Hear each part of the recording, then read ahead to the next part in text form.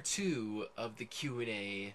Yes, it ran that long because these answers are being late, kind of late. I try to keep them short, but sometimes I need to. Exp- I don't know. This is kind of interesting. I've never done a Q and A, so this is pretty interesting stuff. Um, so I've got a, quite a few questions left for part two here, and that's it. So hope you enjoyed part one. Uh, check that out if you haven't already. So here's part two. Um, Steph Fulton asks if I had the opportunity to turn Royale into a radio show, would you or would you keep it? Would it you? Would you? Did I copy that right? Would you or would you keep it the way it is? Why she wrote it? Why'd you write it like that, Steph? Steph, what? What? Would you keep it the way it is? A radio show and see. Oh, a radio show. Okay, I was thinking about something else. I was like a radio show. Okay, with if I was thinking about that too. I was thinking about you know if it was a, if Cinema Royale was a a specialty um kind of like morning show or a specialty night show on the radio. Um usually we do it for an hour and a half and I'm trying to think I don't think they do they, oh no, they do it longer for an hour and a half. I'm thinking, but I th- I'm trying like if I'm, I wouldn't I wouldn't keep it the same way. Like I would try to do it like what I've done it in the past, like like have a topic, you know, and generalize and generally talk about it in gen- and, and sometimes be like movie news too. Like if there's something going on in the news now, we can talk about it. You know, it'd be like more like a talk show about movies more than what we've been doing with Cinema Royale now. So yeah, it'd be like that. Um, that'd be interesting though if I ever, because usually with radio they don't want to talk about movies that much, so it won't be about see because people listen the radio for music and they want to talk, hear about music stuff. You know, they don't want to hear all about movies. That's why sometimes for morning shows they have like an entertainment segment where they briefly talk about movies and television, and that's it. They don't go full detail on that. And I and I want to change that sort of like that'd be pretty cool if I had Cinema Royale on the air on the radio. That'd be pretty cool. Uh, so I wouldn't keep it the same way. I would kind of tweak it so it'd be like a talk show kind of like a morning show kind of feel where it's just banter between us and we talk about what's going on in movies and you know topics in an editorial general fashion not just all of us researching for it like we do now. Um then i got a whole bunch from teddy uh, bear room shots. So here are the questions from him. Um what inspired you to love movies? Um like I said before in part one, I I grew up with movies as a kid. It was entertainment for for me. You know, you put it on, you watch it, get entertained. Um, that's how I got introduced to it. At least it's not what inspired me to love me love it. Um, I eventually, like I said, I went through this stage where I went through music and then I went back to movies. And I guess doing, I guess what inspired me to, to love movies is Cinema Royale. Like I, a group of people talking about movies and, you know, me going in detail, in going deep into movies, you know, into a movie, you know, looking at it through the behind the scenes tentacle level, you know. Um, doing the podcast actually opened my eyes to movies a little bit more because uh, when I started it at the time, I didn't know a whole bunch about movies, and that's why I want to do the podcast. I'm more familiar with it. Like, like I said in the last part, six years ago, was in 2010. I didn't know what cinematography now cinematography was, but now I know what cinematography is and how I appreciate it more. So it, you know what? There's the answer. Cinema Royale inspired me to love movies as much as I do now like so much more. Um, let's see. What is one movie you love? Oh, what movie? what is one movie that you would love to see get a sequel but Sally didn't?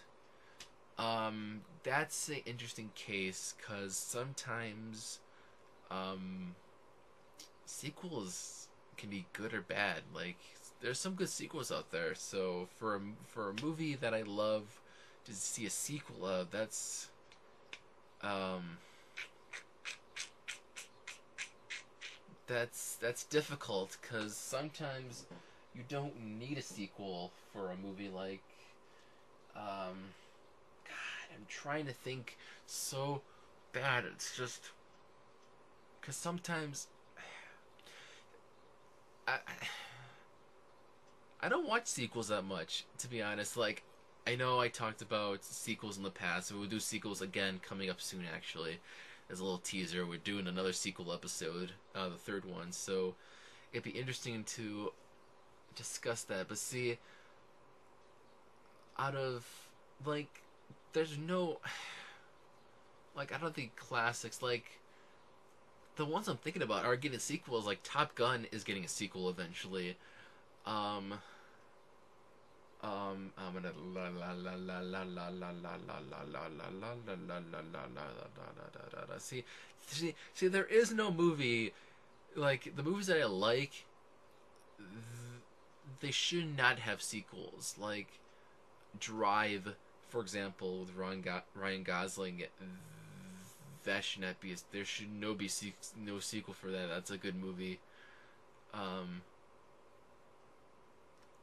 I I I I, I can't answer that because there is no there there's for me a movie that I'd love to see a sequel but didn't get it. It just I I I don't seek out sequels like uh I didn't even watch Dumber and Dumber uh Dumber and Dumber 2 what that that thing cuz I liked the first one. I was like never seen a sequel, so yeah.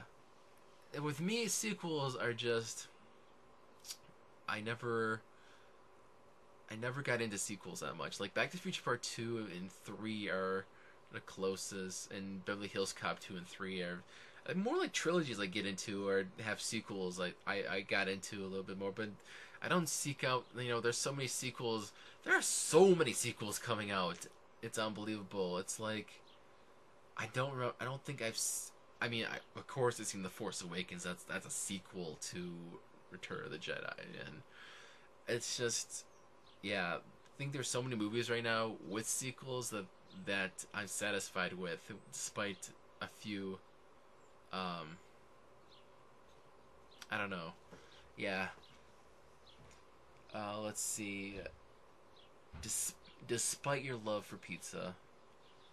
Uh, despite, despite. That's I don't know. I think you worded that right. Have you ever eaten New York pizza? Uh, no, I have not eaten a genuine uh, New York pizza because I've never been to New York. So, um, I've had sort of. I don't know. No, no, no. I shouldn't even say that. No, no. Why would I? Because, yeah, if New York pizza you had to go to New York to eat the pizza, and I've not been to New York, New York, so. Uh, the last two are kind of the, um, the most. That's not the most common, but it's like interesting questions in general. They they're flip flopping with each other. So the first one is, what is a movie that you like but everyone seems to hate? Uh, actually, that's that's actually that's actually a pretty darn uh, um, God, I you're gonna hate me for saying this. Okay, the one movie that, that I like that everyone seems to hate, and I I just love it. It's been almost since I've watched it. I might have to revisit it, but it's Battleship. Like I, when I watched it, I just, I I somehow liked it. Like everybody hates Battleship, but I just when I watched it, I just have this enjoyable feeling watching it. It's weird, but it's I don't know why. I don't know why, but it's just Battleship for me is the film I like that, that everyone else hates. Yeah. Um, What is a movie that you hate but everyone else seems to like? Um, that one is an interesting case because movie that I hate that everyone seems to like. Mm, uh, I'm trying to think of a movie that I've seen that I hate. What I, I there's there is one movie that I hate, but I but I think there's a mixed reaction to that movie, and I don't think everybody everybody loves it, but I think.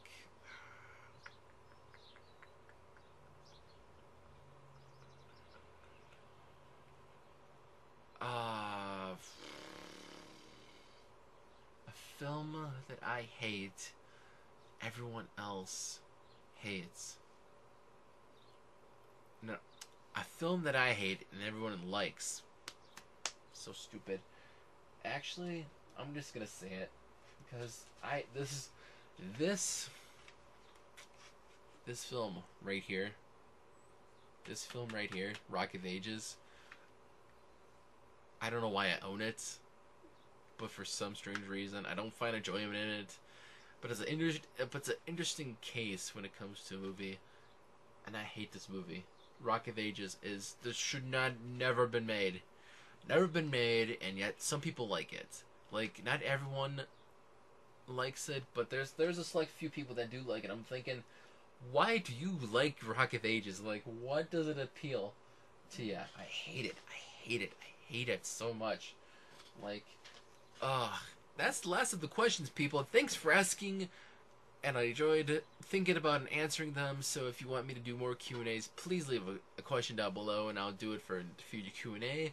And here's hoping for 495 more subscribers to hit a thousand. Let's go for a thousand subscribers, people. Let's do this.